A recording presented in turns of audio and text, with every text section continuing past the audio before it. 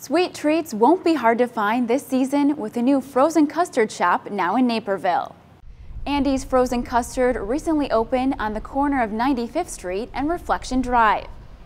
The custard is made with 10% butterfat, the minimum to be considered an ice cream. But with more egg yolk and less air added, it's smoother and denser than its sweet counterpart. The biggest probably difference is, is how we do what we do. Um, the, the, the, the, love that we have, the technique, uh, whether it's the made fresh hourly part, um, how we serve the product, how we blend the concretes. It's love and passion really is what it is. The current menu features seasonal specials like Candy Cane Crunch, Apple Pie Sundae, and Andy Nog Shakes. The drive-through and walk-up shop is the seventh Andy's in the Chicagoland area.